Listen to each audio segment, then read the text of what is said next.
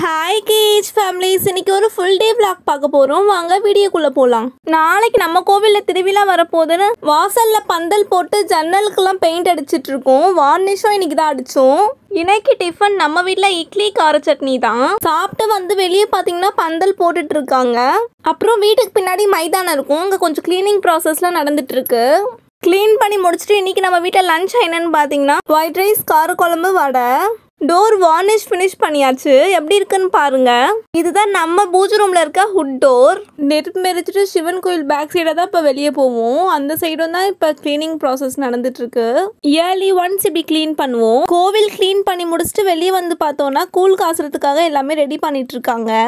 நாளைக்கு காலையில பால் கூட முடிஞ்சோன்னா மதியானம் கூழ் ஊற்றுவோம் கருப்பூரம் ஏற்றி சாமி கும்பிட்டு கூழ் காசுறதுக்காக அடுப்பு பற்ற வச்சாச்சு. நாளைக்கு பால் குடத்துக்கும் நெருப்பு திருவிழாக்கும் கத்தி தீட்டிட்டு இருக்காங்க இதுதான் எங்க கோவில் எல்ல கத்தி. அப்பா சாமி சிலையை ரெடி பண்ணிட்டு இருந்தாரு திருவிழாக்கு லைட்லாம் போட ஆள் வந்துட்டாங்க. நான் வெளியே கிளம்பிட்டேன். அம்மா கூட. நாளைக்கு நெருப்பு எரிக்கிறதுக்காக அம்மாவுக்கு சாரி எடுக்க போயிருக்கேன். எனக்கும் ஒரு சில காஸ்மெட்டிக் வாங்க வேண்டியது இருந்துச்சு அதுவும் வாங்கிட்டு வந்தாச்சு. கடைக்கு போயிட்டு வந்து பார்த்தா அப்பா போட்டோ ஃப்ரேம்க்குலாம் அலங்காரம் பண்ணிட்டு இருந்தாரு.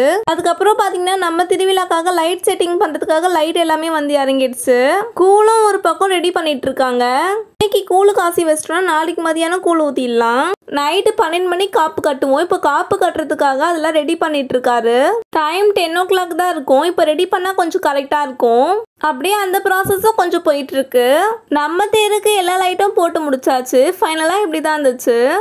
நாளைக்கு பால் கொடுத்ததுக்கு தேவையானதெல்லாம் தனியாக எடுத்து வச்சாச்சு. இப்போ வந்து நைட்டு பன்னெண்டு மணிக்கு காப்பு கட்ட ஆரம்பிச்சிருவாங்க.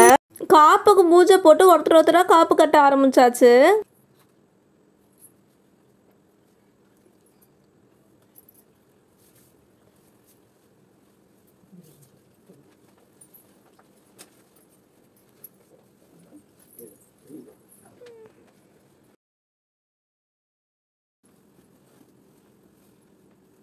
நானும் இன்னைக்கு நைட்டே காப்பு கட்டிட்டேன்.